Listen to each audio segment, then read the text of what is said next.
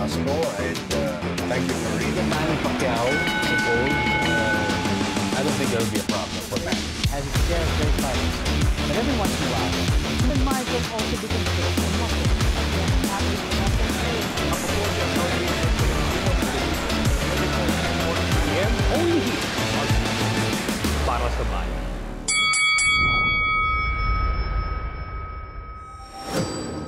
And that's the opening bell for Round by Round presented by Eastern Communications. Mabuhay Pilipinas. Welcome world. I'm Boyet Sison. And I'm Ryan Songalia. Bill Velasco joins us later on in the show. On this edition of our program, we talk about an upcoming matchup that would finally happen next month.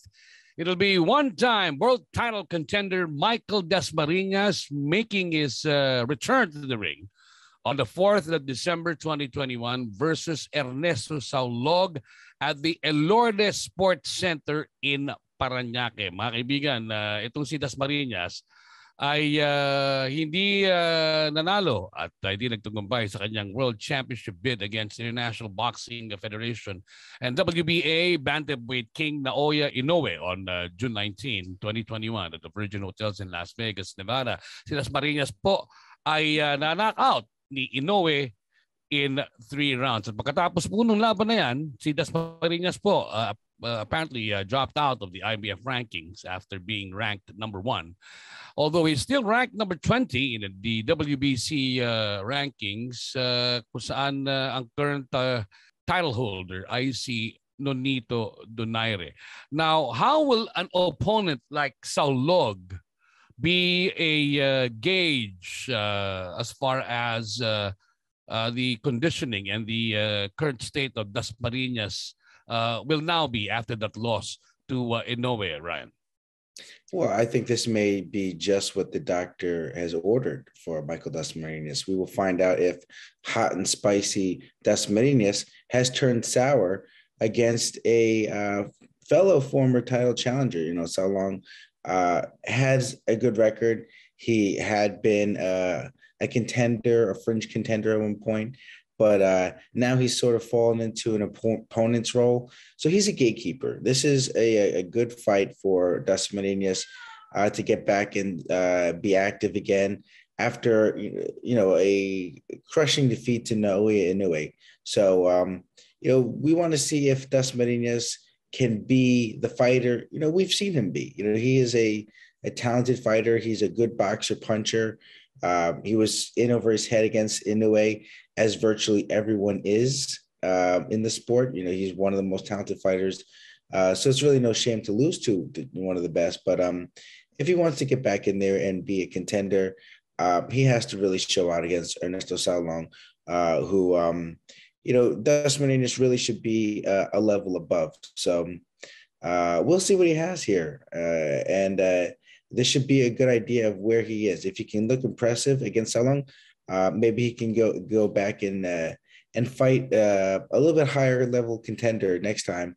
Uh, if he doesn't, well, then we know that uh, is where he is in his career at this point. Well, as far as a lot of other boxing uh, observers are uh, concerned, uh, they are they are putting this fight as some sort of a of a uh, tune-up fight for Dasmariñas. Uh, but do you agree that they are putting this as some sort of a, of a tune-up fight for for Dasmariñas uh, in this quest to fight uh, somebody uh, on a higher ranking and eventually get into the thick of things once more? Yes, I believe that uh, Dasmariñas really does. He still has a good record. He's 30 and 3. He can go back and fight uh, someone either um, challenging for a title that could build him up, you know, towards a title fight, or he could, you know, uh, uh, potentially get um, some paydays as a, uh, a high profile opponent. Uh, you know, it, it, all depends on how he looks against Saulog. Um, you know, I always say there are no tune up fights because at the end of the day, the other guy uh, will always have two hands of, of, his own. And for all you know, you might be the one getting tuned up. So, uh, Michael Dasmariñas really has to um, show some urgency in his career. You know, show you know he doesn't always fight um, to the most of to the best of his abilities.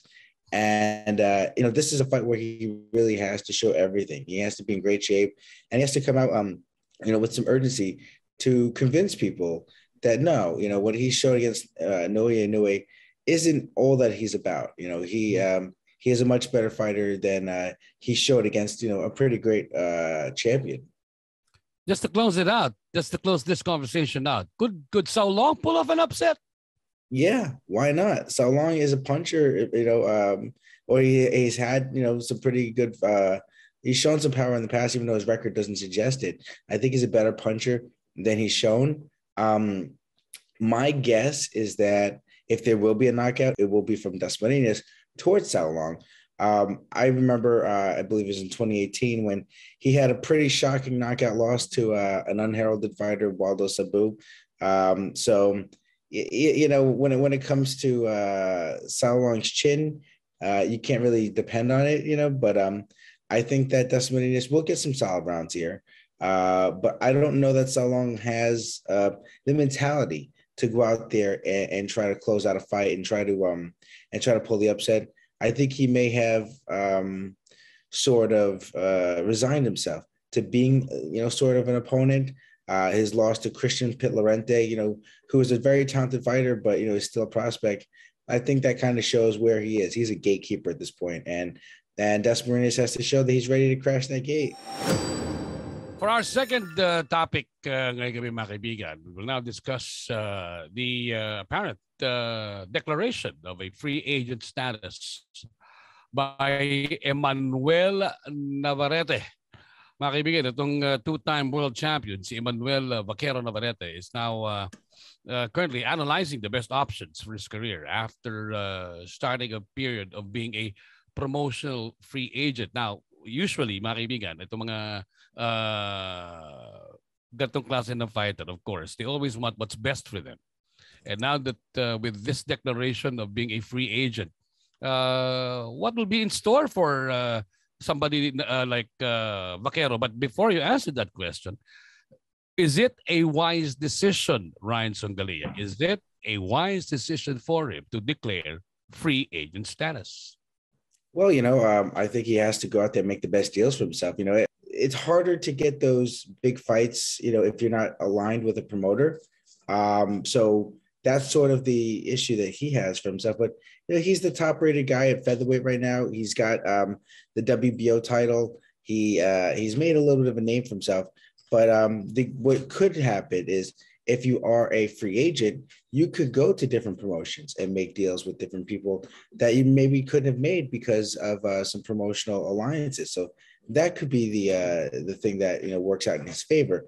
Um, for instance, like if Navarrete was to fight, you know, Mark Magsayo, for instance, if Mark Magsayo is on PBC, he could now go and make a deal with Mark Magsayo, mm-hmm. uh, you know, and another promoter. Whereas, um, you know, we've seen this work in the past. You know, uh, recently, uh, Canelo Alvarez has sort of uh, broken, uh, you know, the traditional promoter fighter ties. You know, where fighter will sign a long-term contract with somebody and try to just sort of stick to one person and let that person make his deals for himself. Uh, if Navarrete feels confident that he can go out there and make a deal for himself that's better and say, okay, I'm going to go over here, I'm going to go over there. Yeah, good for him. That that that that, that will work for him. It's worked for Canelo Alvarez. Um, to a, a, lesser extent, it worked for Mikey Garcia, where Mikey Garcia was able to look for the best financial deals for himself. Mm-hmm um, fighting on one fight contracts, you know, with DAZN, and and if it, if it was uh, advantageous to him, he'll go to PBC, and he was able to make a lot of money without taking a whole lot of risk and, and being tied down long term, uh, where your your interest will actually intersect with that of the promoter. Like you know, if uh, there's a long contract and uh, and you're on the downswing, um, and it's advantageous to that promoter to try and cash you out against one of their ascendant fighters, that could happen. So, um, but Navarrete has shown that he's an exciting fighter.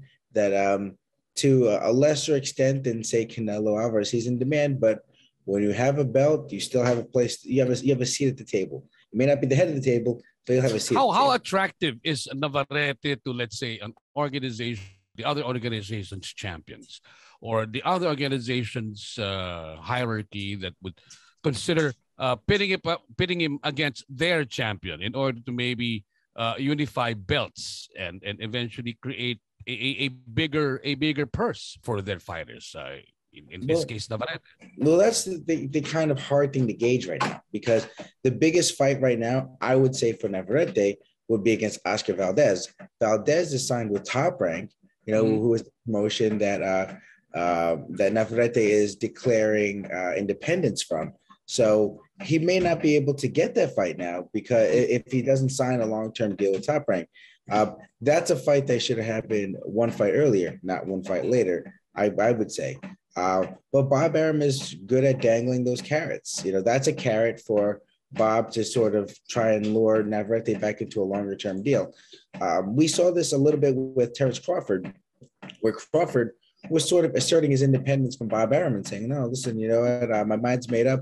I'm moving forward. And Arum, all, all he could offer was, um, well, well, we'll offer him a one fight deal. We'll make the fight with uh, Errol Spence and and and Crawford's like, well, if you couldn't get me the fight when I was with you, why would you get me the fight when I'm not with you? So uh, it, uh, having a promoter can be uh, a, a, path towards making bigger fights.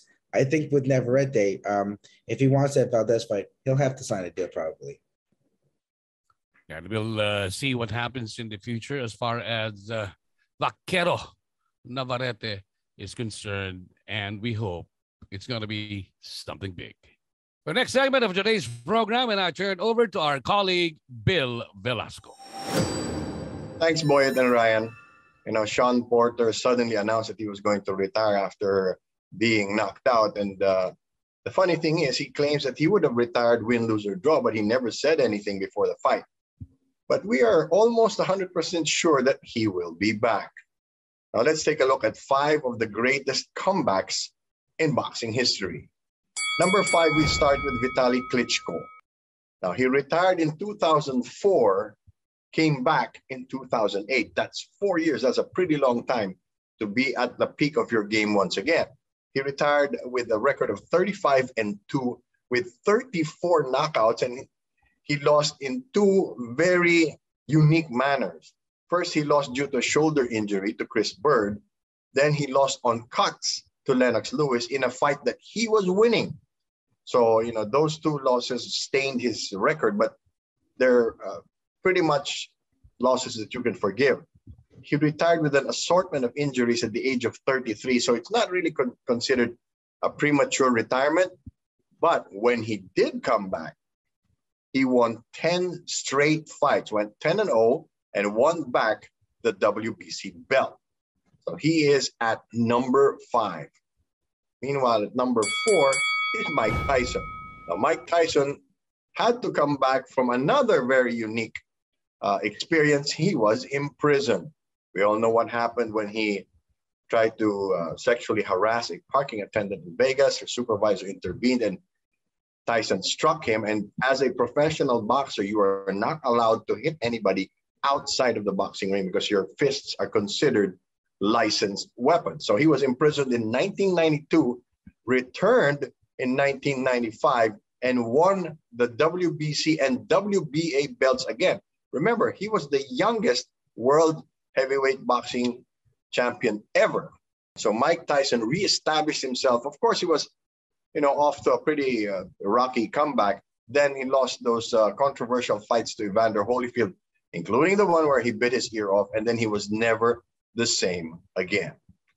Meanwhile, number three, we, got, we have Sugar Ray Leonard, who retired in 1982, came back very briefly in 1984, then had a tremendous comeback back in 1987.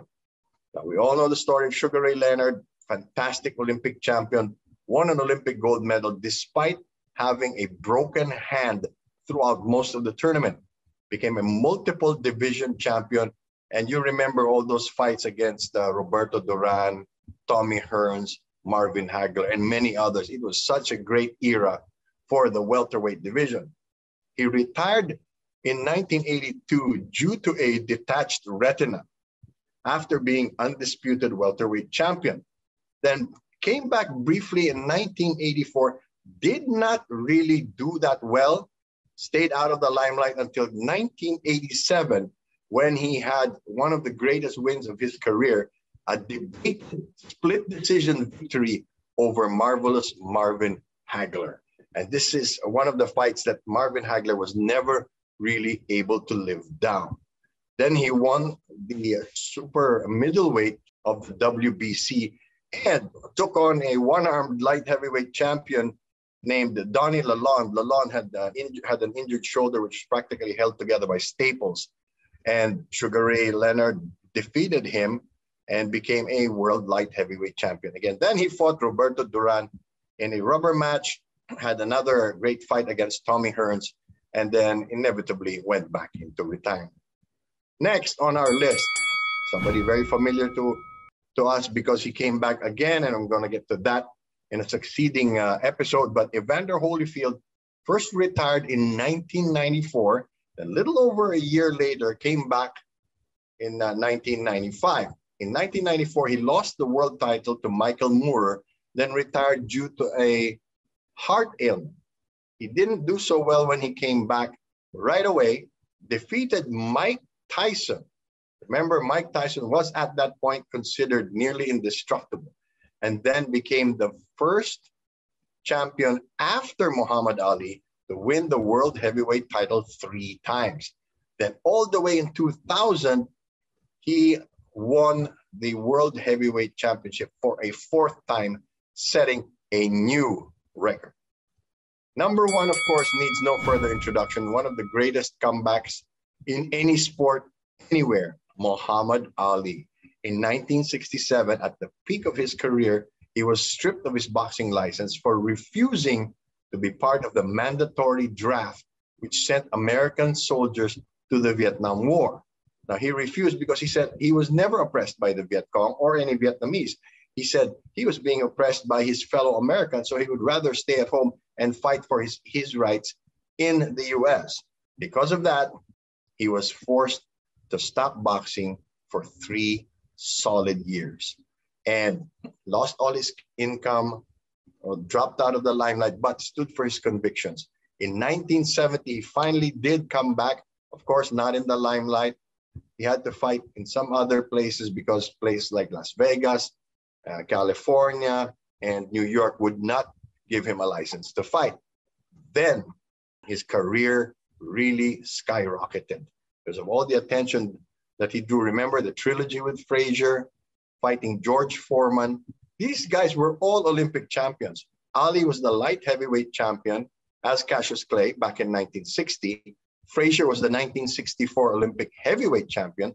Foreman was the 1968 Olympic heavyweight champion. So these guys were really heavy hitters. And Muhammad Ali did inevitably overcome all of them to become the first man in history to win the world heavyweight title three times. Yan po ang kasaysayan ng mga pinaka mabibigat na pagbabalik sa boxing. Balik sa inyo, Boyet at Ryan. Thank you, Bill. We now go to our Fearless Fighter, brought to you by Eastern Communications, and we uh, turn our attention to a female amateur legend who is turning pro, and I will talk to a guy who wrote a fantastic article on this woman. And we're talking about none other than Christina Cruz, who will make her professional debut very, very soon. Yes. All right. Okay, um, Ryan, what makes an, a, a, female amateur legend like Christina Cruz very special, Ryan? Well, you know, actually, I remember back in the day, I, I remember seeing her maybe 10 years ago uh, when she was just starting her Golden Gloves runs. Um, and this was a different time in boxing where, where men uh, did not look at women as like, oh, you're going to be a great fighter, or whatever. Uh, she came down to the gym where I was training at in uh, Hackensack, New Jersey, and she was just hitting the bag. A the whole gym stopped. A whole gym full of men, amateurs, professionals, journalists stopped and watched her hit the bag. We were so impressed by what we saw from her. So she was sort of a trendsetter in in that regard, even back then. But after winning 10 New York Golden Gloves titles, that's a, that's a record, um, and basically doing everything in uh, that an amateur fighter could do, except for going to the to the Olympics. Um, she's turning professional. She she turned professional in August. She's having her second pro fight uh, this Saturday in New York, and um, you know she's fighting just walking distance from her home. You know she lives in New York City, uh, but fighting without the headgear after all those years of being a top amateur fighter. um, you know, you, you have to really respect uh, her taking her career to the next level and and um, just the fearlessness that she shows. You know, well, women's boxing has really uh, taken a big leap uh, in recent years, and uh, for for her to, as you said, uh, uh, join in the fray or uh, get into the the, the the, meat of the matter, so to speak, is something that a lot of us, of course, would be looking forward to. But looking at the landscape of her weight class right now, how do you think she will be faring? I think that she has a great, she stands a great chance of making something happen. Not you know in, in the in the distant future, but I think soon. I think you know, she's she's uh, a little bit late to the game in terms of having been a top amateur for a long time and not having gone uh, you know starting her pro career you know earlier in on when she could have. But um, I think that she would be ready for a world championship opportunity within the next um, you know year or so. Uh, you know, I think time is of the essence with her. Um, I think that she really wants to get a move going. But um, you know, we're talking about Marlen Esparza, who's someone that she had fought, um, you know, in the amateurs. That's a, that's a big fight potentially for her. Um, you know, there's uh, Arely Muciño who had a fight recently. Um, she's always tough. She's a veteran. Uh, I think that Christina Cruz has the talent and the skills that um, even with very few pro fights, she can go out there and and uh, and possibly uh, beat some of these uh, top female flyweights. Well, mga uh, a lot of female fighters have now really uh, started to get to get their uh, their notoriety, so to speak, in the world of boxing. You have, of course, already two females in the Boxing Hall of Fame, and, and more to come. I'm very sure that that will be inducted in the Boxing Hall of Fame very, very uh, in the coming years. And uh, for uh, for somebody like a top amateur like uh, like Christina Cruz, who's now set to uh, to be in the professional ranks, will, uh, as Ryan said, a bit late in the game, but I am pretty sure, I'm pretty sure there'll be a lot of eyes and there'll be a lot of fans out there that will that will be very interested to see her progress in the very near future. Okay, mga now is the time for reliable connections. Eastern Communications Fiber One is ideal for powering small, medium enterprises that are on their way to digitizing their business and pushing forward to a strong and fearless tomorrow. Do contact 53007000 or visit their website, eastern.com.ph, for more information about the service. And that is our fearless fighter, Christina Cruz, as brought to you by Eastern Communications. And that's the final bell for today's episode of Round by Round, presented by Eastern Communications. I'm Boyet Sison. I'm Ryan Songalia. We're on Facebook at 6 p.m. Monday through Friday and on our YouTube channel right after. So like, follow, share, and subscribe now.